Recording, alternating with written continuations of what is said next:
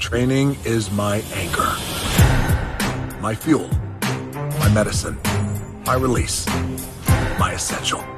And while the world has changed, and we've changed with it, I know that together we're all going to come back better, stronger, and hungrier.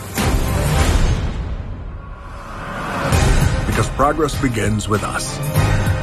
It's taking that first step, completing that first rep.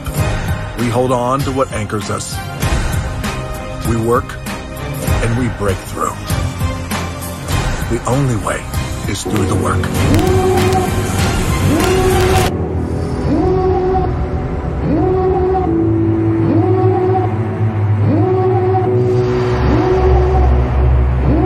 Devil in a red dress. Call 911, I'm a killer. You know I hate to confess.